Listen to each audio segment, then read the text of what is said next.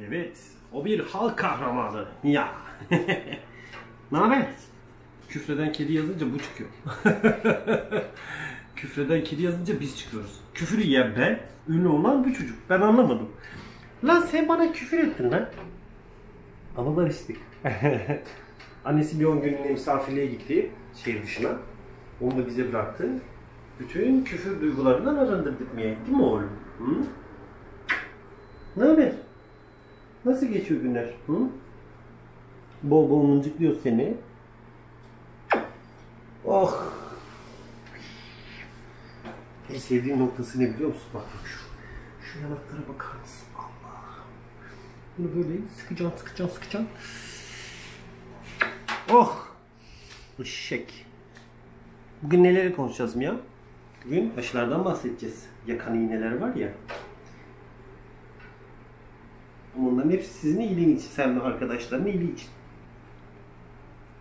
Mia aşireti.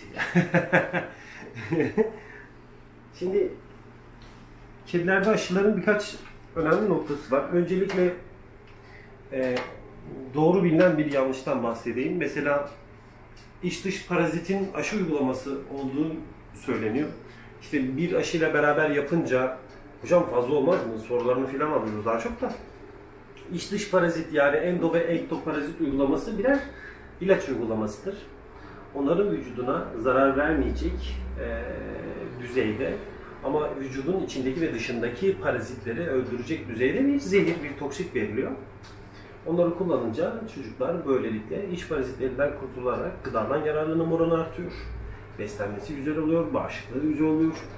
Dış parazitlerinden de kurtularak hem her şeyden önce refahları, huzurları yerinde oluyor. Çünkü sürekli olarak kaşınması filan aynı zamanda dış parazitlerle yani vektörlerle bulaşan hastalıkların önüne geçmiş oluyoruz. İç dış parazit uygulaması benim tercihim. 2 ayda bir uygulamak ve tüm ömrü boyunca e, yapılması gereken bir uygulama. Çünkü her şeyden önce bu iç dış parazit uygulamasını sizlerin sağlığı için de kullanıyoruz. Mesela çok meşhur bir hikaye var. Kedinin kanından korkma mi? Korkma. Kedinin kanından mesela kist bulaştı filan. Kedinin kılı kist yapmaz efendim. Kedinin kanındaki Echinococcus granulosus yumurtası kist yapar. Ee, bu parazitlere karşı korumak için de düzenli olarak aşılarının olması gerekiyor. İç dış parazit uygulamalarının, pardon kendimle düştüm. İç dış parazit e, uygulamalarının düzenli olarak yapılması lazım. E, dediğim gibi aşılar iki ayrılıyor. Antiparaziter yani parazit ve antiviral. Virüslere karşı korumak için. Kedilerde 3 tane önemli aşı var. Bildiğimiz karma, lösemi ve kuduz. 1 yaşından küçük canlılara karma ve lösemi 2 doz. 1 yaşından büyük canlılara ise 1 yaşından küçük ya da büyük canlılara fark etmeksizin kuduz her zaman tek doz yapılıyor. Bunu belli bir aşı takvimini alıyorlar. Yani her hekimin bir yorumu vardır. Dediğim bunu çok her seferinde söylüyorum. Hekime güven esastır. Her yiğidin bir yoğurt yiyişi olduğu gibi her hekimin, her sanatçının da e, tuvalet fırça vuruşu ayrıdır. E, ben aşı arasına aşı sokmamayı daha çok tercih ediyorum. Aşı takvimi birinci karma 16 gün sonrasında, ikinci karma 16 gün sonrasında kuduz. Sonra biraz daha çocuklar büyüdüğünde, gençlik çağına ulaştığında 7. 8. aylarında lösemi aşılarının uygulanmasını yapıyorum. Ee, sonuç itibariyle bir yıl içerisinde bu bütün aşılarını olmuş oluyor. Ee, bazı meslektaşlarım profilaktif olarak yani koruma amaçlı mantar aşısını uyguluyorlar. Yanlış bir yöntem olarak bulmuyorum. Ama benim uygulamalarım arasında yok. Ee, çünkü zaten mantar aşısı yani mantar enfeksiyonu yaşadıktan sonra zaten kullanılabilen bir aşı olduğu için mesela e, ola ki panlukopenia ya da kalisivirüs oldu diyelim. Kalisivirüs olduktan sonra kalisivirüs için karma aşı yapmak doğru olmaz. Ama mantarda böyle bir durum söz konusu olmadığından dolayı e, enfeksiyon olduğunda kullanmayı tercih ediyorum. Umarım hiçbir hastalanmaz. Değil mi Mia? Niye? Mia'nın konuyla hiç ilgisi yok. Aşıdan bahsediyoruz yani. Ne ilgilensin ki? Mia. Mamadan bahsetsek? Ha? Dur bir yaş mama getireyim mi? Mamalardan bahsedelim. He? Yaş mama ister misin? Niye? Niye? Dur ben hemen bir mama getireceğim. Neyi seversin Mia'cığım?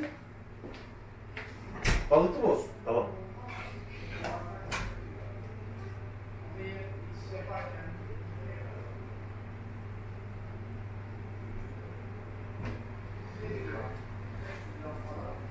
Bu arada şöyle bir taktik vereceğim herkese. Yaş mamayı ver, yer vermeden önce şu sesi çıkartmanızı öneriyorum. Pavlov'un köpekleri deneyi, şartlandırılmış refleks, evin içerisinde saklanan kedileri bulmak için birebir bir metot. Evet, mamalardan bahsediyoruz bugün Miyacığım. Bu sevdiğim bir ürün. İçinde haşlanmış et var.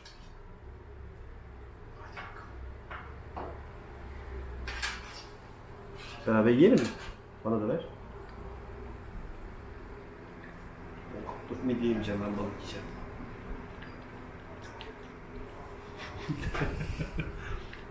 Beraber.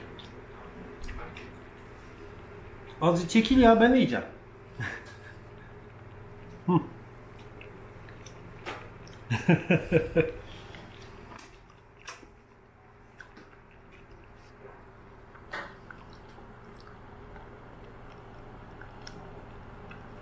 Tabii konu mamalar olunca Mia'nın ilgisini çekti.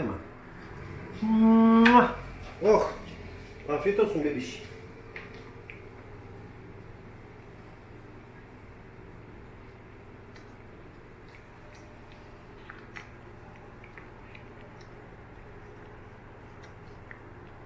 Devam etsen aşkım. Yeter daha ne işte?